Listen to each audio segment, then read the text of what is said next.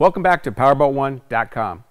Now that we've got our PTO mounted and our drive shaft on, we're going to move into putting on our rear motor plate and our rear bell housing.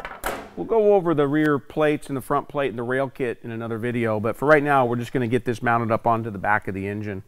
It's going to slide right over the dowel pins, sit in place like that. We can run in three of the bolts because the rear bell housing only uses four. So we'll run these in like that. And the rear bell housing, it's a nice polished piece. It actually has provision for a drive shaft guard on it as well. We'll slip that up on like that.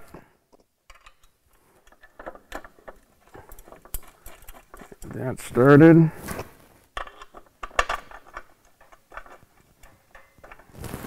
Started.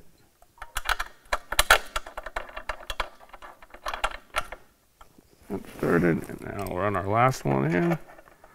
Okay, we'll just kind of run those down in there.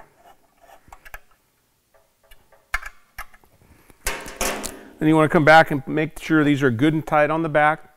And that really completes the back portion of the engine where our rail kit is.